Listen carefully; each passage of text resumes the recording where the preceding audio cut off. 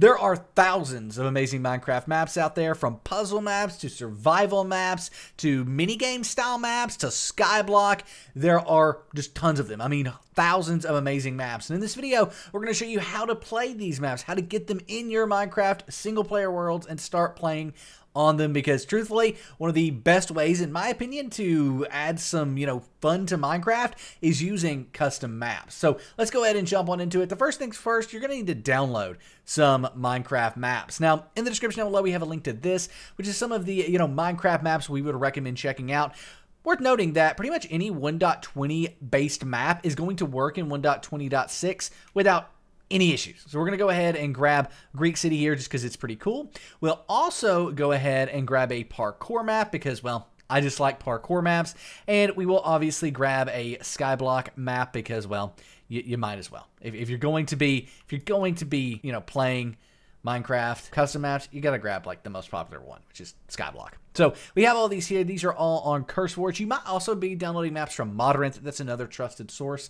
But nevertheless, once we're here on CurseForge, we can go to Files and download the map. Just click the three dots here and click Download File. Well, this is downloading. How about this from our company, Simple Game Hosting? Go to the first link in the description down below. The breakdown.xyz slash SGH. And let's say you wanted to play one of these maps with your friends. Well, you can do that at Simple Game Hosting by adding the map to your Minecraft server. It's super simple and easy to do that. And it's also easy to add mods or mod packs packs to your server. We actually have over 150 one-click mod packs that you can install. Plus, if there's any issues along the way, there's expert live chat support there to help you out. So go check out Simple Game Hosting at the first link in the description down below. The breakdown.xyz slash SGH and start your Minecraft server the simple way. Nevertheless, our map here is now downloaded. We've got two more and the process is exactly the same. Go to Files, download the 1.20 version of the map and click Download File and repeat it one more time for Skyblock. Again, this will work for any of the maps that you want and if you're using Modrinth to download maps, that's perfectly fine too because that is another trusted source for Minecraft mods. But nevertheless, now that these are downloaded, we can go ahead and install them.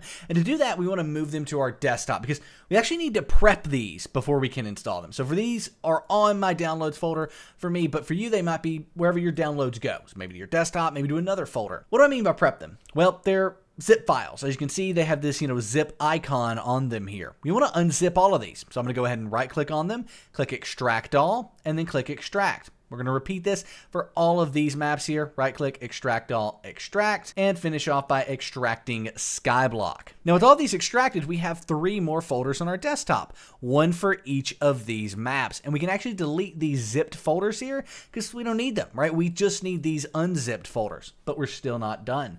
When we open up these folders, what we want to be looking for is a set of files and folders. Not like this, keep going. If you just have like Skyblock like this, go again until you see all of these files and folders here. Data, data packs, icon, all of that. It might not be all of these, but it probably is going to be some of them, right? For example, you might just have level dat and level old and data not data packs or anything else. It just depends on the custom map, but you want to make sure that you have at least some of these.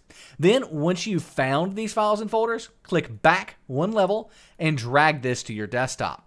Now, what we want to do is as soon as we open these files, this is what we see, these folders and files here. So as soon as we open up this one, nope, not the case. We want to go into world. This is what we want. Drag and drop this back to the desktop.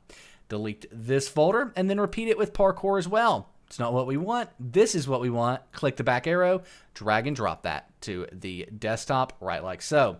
So now, as soon as we open any of these custom maps, we immediately see these files and folders. And this is what I'm talking about. They could be different. Data, level data or on both of them, but you know, you can see here, there's a lot more here than there is in this one even. So it's just different files and folders there, but you should have at least a few of those. Now we want to go ahead and open up the Minecraft launcher, but don't play Minecraft.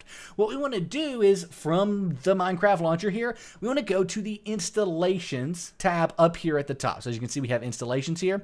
Now, once you're in installations, what you want to do is find the version of Minecraft that you're playing these custom worlds on. So in my case, this is going to be latest release, but you can even do this with a modded version of Minecraft. That's going to work just the same. Hover over this and click the folder icon icon to open up your Minecraft folder. In your Minecraft folder, you'll have a saves folder. This is where all of your single player worlds are located. So we can drag and drop these folders into our saves folder, and now they're installed in Minecraft.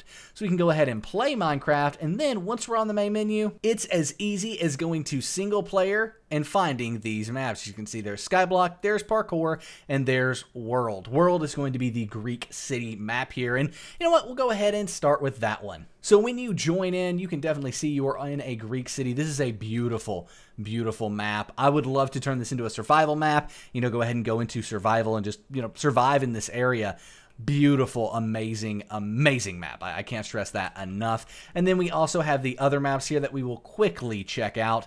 We have the parkour world. I'm horrible at parkour, um, so I'm not really even going to try, but uh, here it is. And I believe, yeah, we can go over here and actually, you know, go to our different parkour worlds and things like that. So amazing, amazing parkour setup. Uh, here we go. Parkour is where we want to do and get started with it. I'm, I'm not good at parkour, so let's go ahead and uh, go to Skyblock, where I am actually a bit better at the game. So we can jump into Skyblock Classic here. If you do get this world and like this warning, that's okay just go ahead and click I know what I'm doing and it will launch you right on into it. If for whatever reason it did break, it's going to be pretty easy to fix because you can just reinstall the world. But um, as you can see here, what we want to do with Skyblock is click default and it's going to go ahead and uh, get things going, right? This can take a minute, it takes a long time to set up Skyblock. So um, yeah, I'm not going to go through that entire process right now, but at this point, you now know how to add worlds to Minecraft 1.20.6. If you've got any questions, let us know in the comment section down below. And be sure to give us a thumbs up if you enjoyed it. We'll see you in the next one. I am out. Peace.